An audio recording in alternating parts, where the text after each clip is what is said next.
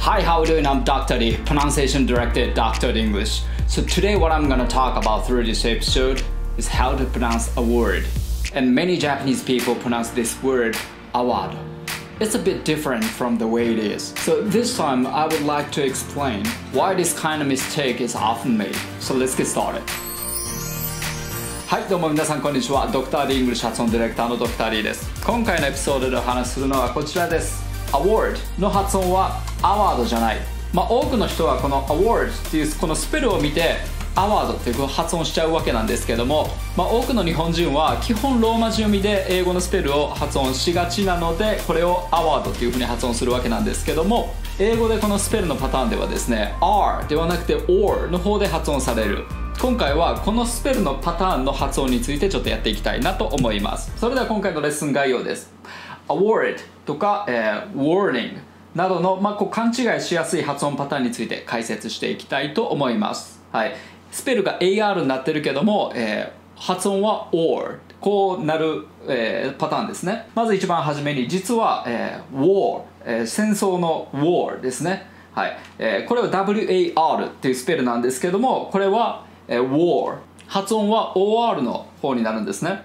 で、えー、2番目ストレス母音とアンストレス母音ストレスを置く母音と置かない母音これの、えー、発音のパターンの違いですね。で3番目に発音クイズ。こういった手順で進めていきたいと思います。それではこの WAR って書いて war っていう、えー、パターンの発音ですね。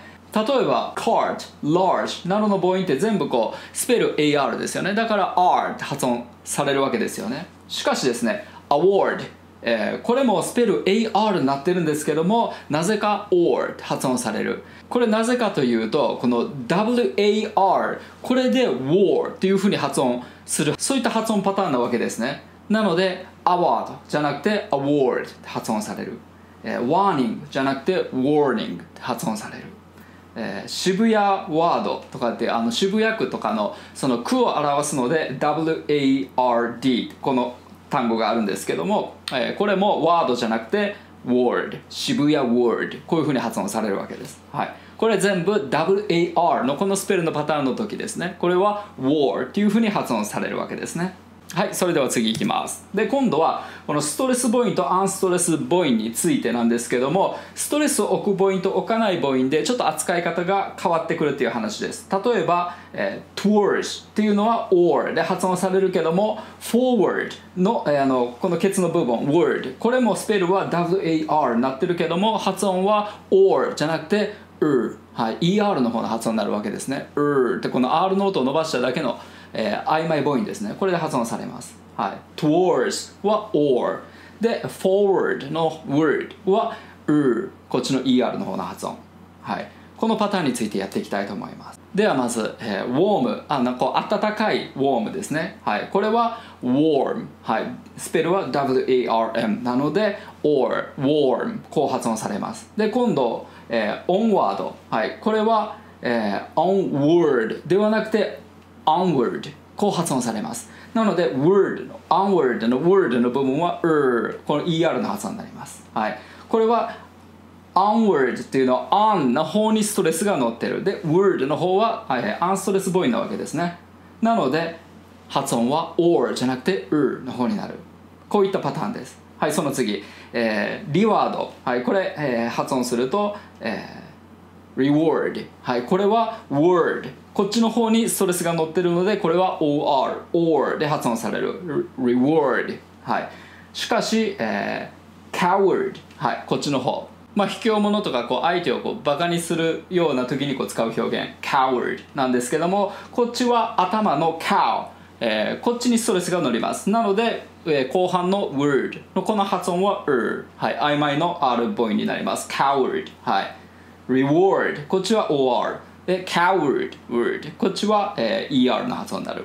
はい。その次、えー、worship はい。worship はい。これは war こっちの方にストレスが乗るので OR の発音。worship えー、しかし、えー、upwards とかの upwards はい。こっちは up えー、頭の方にストレス乗って words、えー、後半部分のこの words にはストレスは乗らないので er の母音になる。upwards upwards はい。まあこんな感じでですねあのアンストレス母音っていうのは基本的にはどんなスペルでも「う」っていうこの曖昧母音になりがちというそういった発音の傾向にあります。はいそれでは、えー、今度は発音クイズやってみたいと思います。まあ先ほどの情報をもとにですねちょっとあの想像してみてください。それでは、えー、Question 1からいきます。I put my shirt on backward このバックワードなんですけどもめっちゃカタカナで発音してますけどもあのこのワードってどっちの発音だと思いますかはい正解は backward はい back の方にストレスを置かれるので word こっちは、えー、曖昧母音の R の発音になります word backward はい backward じゃなくて backward こうなります I put my shirt on backward はいで、えー、question 2 Warner Brothers is known worldwide はいこのワーナーブラザーズのワーナーこれはどの発音になるでしょう？はい答えは or はい war こっちの発音になります。Warner Brothers Warner Brothers はい。じゃあ次。It's known worldwide はい。このワールドワイドのワールドどの発音になるでしょう？はい、これスペルは OR になってるわけなんですけども world じゃなくて world はい。Or じゃなくて er er はいこっちの ER の発音になります worldwide はい Warner Brothers is known worldwide はい Warner Brothers の Warner は or Warner こっちになって worldwide ワールドワイドは wer こっちの発音になるじゃあ3番目いきます The dwarfsmith crafted intricate jewelry はい、えー、このドワーフですけどもドワーフはどの発音になるでしょうかはい答えは、えー、or or の方ですね。dwarf dwarf こうなります。dwarf はい。ドワーフスミススミスってあの作る人、えー、鍛冶屋。日本語で言うと鍛冶屋ですね。でも今多分鍛冶屋って言ってもあれですね。ピンとこないですよね。あのファイヤーの火事ではなくてその刀作る鍛冶。なんですけどもまあなんかこうあの鉄で何かをこう作ったりだとか、えー、そういった職業の人のこと。スメフって言いますね。はい。あと鍵作ったりする人もスメフですね。はい、えー、The dwarfsmith crafted はい。作った、えー、intricate jewelry はい。Intricate intricate ってあのすごい精巧なとかって意味ですね。はい、えー、jewelry まあアクセサリーですね。はい。まあ宝石のことなんですけども。はい。ちなみにこの jewelry の発音めっちゃ言いにくいわけなんですけどもコツをちょっと伝授したいと思います。まずは jew でその後に L が来るわけですね。なのでニュアンス的には jewel jewel こういうニュアンスになります。これで L まで発音した感じ。jewel jewel はい。